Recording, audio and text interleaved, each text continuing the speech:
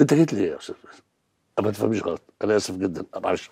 ساعات ببقى ببقى أنا قصدي مجيتك بجد. شرف لينا وعلى رأينا وعلى راسنا بس أنا قصدي يعني يعني أقولها لك إزاي. دلوقتي أنت عرفت آه بوضوح إن هم مش عايزيني. آه. وحسيت إن هم بيطفشوني ومش هيشغلوني. ابدا. تمام. آه. وأنت في نفس الوقت مش هتغصب عليهم ها وتشغلني. وتخسر آه الست قريبتك دي. مش كده ولا إيه؟ أكيد. أكيد. بس أنا ممكن أشغل حضرتك في أي قناة تختارها في مصر كلها أنت وشادية. وتشغلني أنا كمان؟ آه طبعا طبعا يا شادية. يعني أنت أنت على فكرة إمكانياتك أكبر بكتير من إنك تبقي مراسلة في كايرو ميديا. لا خالص. أنت أنت أي فريق إعداد أو تحرير في أي برنامج توك شو في مصر يتمنى إنك تشتغلي معاه وممكن تشتغلي في التقديم كمان. بقول لك إيه يا أستاذ مازن خليك معايا. نعم آه أنت تعرف يا أستاذ مازن أنا كنت فين يوم البرنامج بتاعك وكلام شادي العظيم ده عني؟ والله اللي توقعته إن حضرتك قاعد لوحدك وحزين من الكلام اللي اتقال وقافل تليفونك ومش عايز ترد على حد. كل الناس افتكرت زيك كده حتى العصفور ده.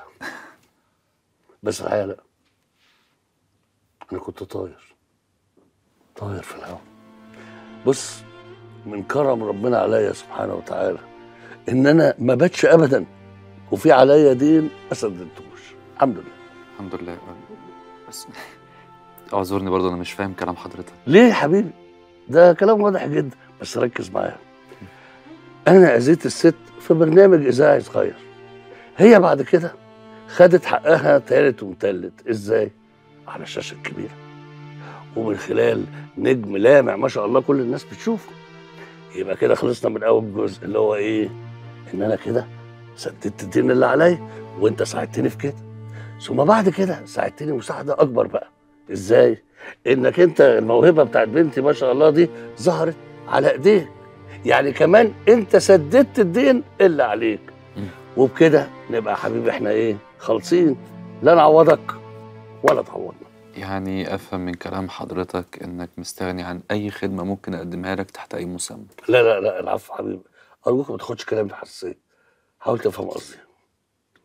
بص تفهم من كلامي اولا إن أنا ما أقبلش على نفسي ولا على بيتي أي دين.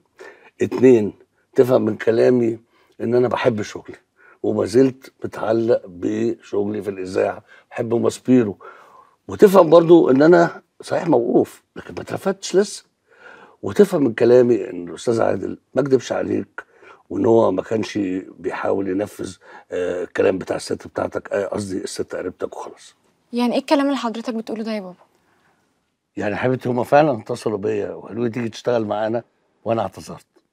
رفضت. أيوه بس أنت كنت لسه حالا مستغرب وبتقول إن أنت ما, يا حبيبتي وأنا لحقت أستغرب ولا أقول أي حاجة. كل ما أجي أتكلم تنط فوقي وتقول لأ مستحيل مش معقول. إديني فرصة أنا أحكي عشان تفهم.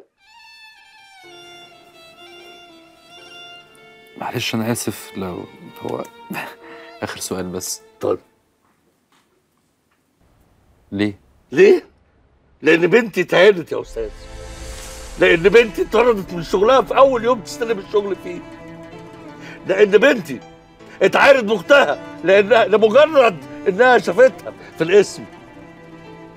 إيه؟ كتير عليا يعني إن أنا أحافظ على حق بنتي وكرامتها. وإن أنا أقول للأستاذ بتاعك ده زي ما قال لها ما يشرفنيش إنك تشتغلي عندنا أقول له ولا إحنا يشرفنا إن أنا أشتغل عندكم.